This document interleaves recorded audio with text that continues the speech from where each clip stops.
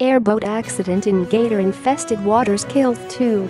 Melbourne, Florida, two boaters were found dead Sunday night in alligator-infested waters after an airboat accident west of Cocoa.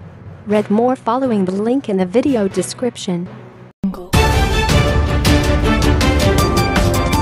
Where should bar be set for Florida football in 2018? Columbia, SC. The Florida Gators are on the heels of their second losing season in their past five campaigns and ready to find their third head coach since 2014.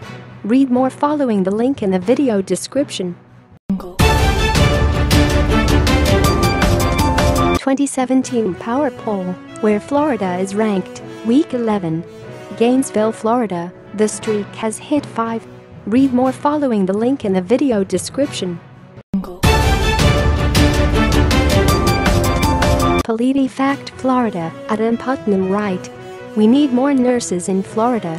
In the Florida governor's race, both Republicans and Democrats have highlighted an issue facing the Sunshine State, a shortage of nurses.